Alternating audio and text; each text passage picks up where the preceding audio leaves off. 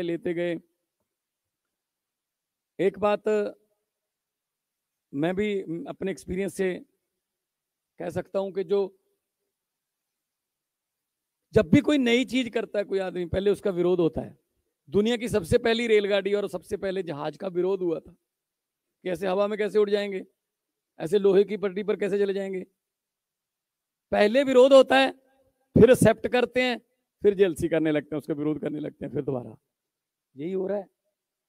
पहले विरोध हुआ फिर एक्सेप्ट कर लिया स्कूल बन गए। अब कह रहे स्कूल क्यों बना दिए? तो लेकिन ये चैलेंजेस जो हैं ये वही आदमी ले सकते हैं जिनके दिल में जुनून हो और जिनको परमात्मा ने इतनी बुद्धि इतना बल बख्शा हो कि किसी के जीवन में कोई चे, कोई चेंज ला सके।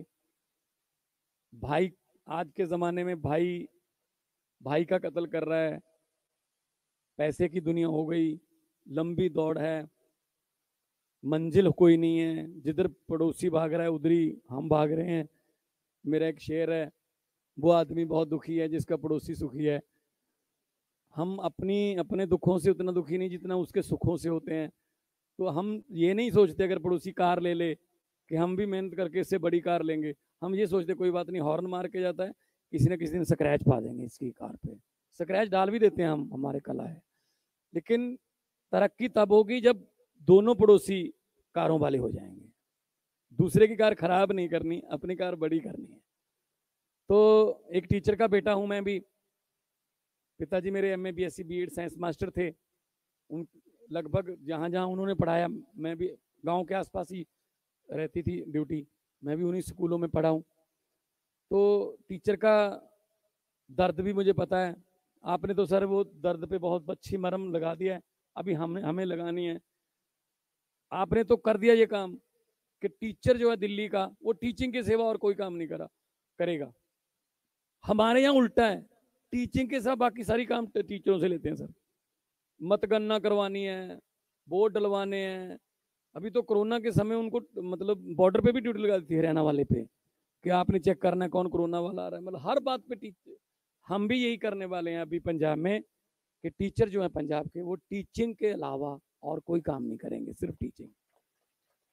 अभी सेंसस आ रहा है देश का तो हमारे पास एक लेटर आया था कि सिक्सटी एट थाउज़ेंड टीचर चाहिए।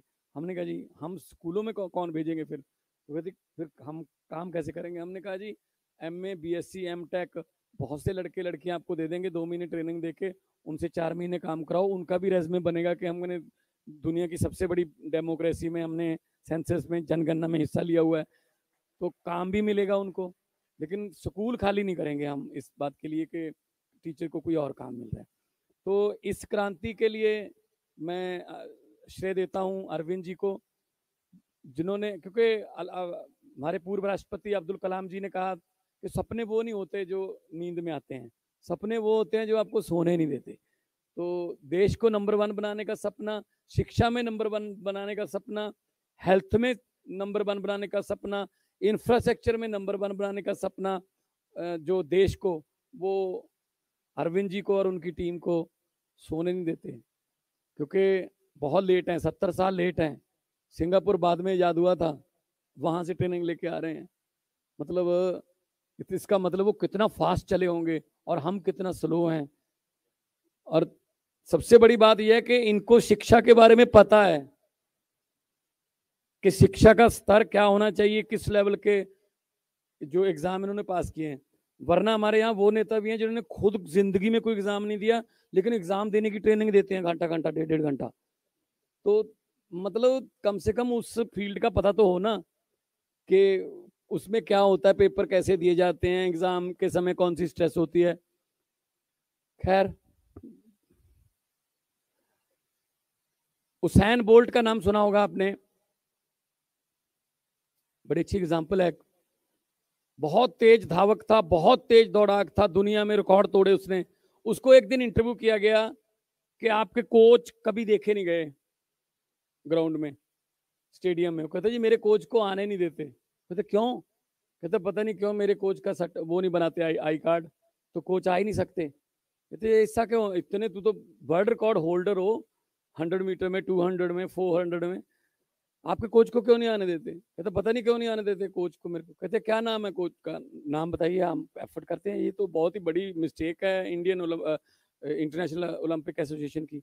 उसने कहा, जी जमाइका में पला हूँ, गाँव में। जंगल था तो मजबूरी में शिकार करके लाते थे खाना खाने के लिए तो चीते पीछे पड़ जाते थे। चीते से बचने के लिए भागते थे। अगर एक स्टेप इधर उधर हो गया, चीता बिल्कुल पास ही आ रहा है। जिनके चीते कोच हों, उनको कोई हरा सकता है?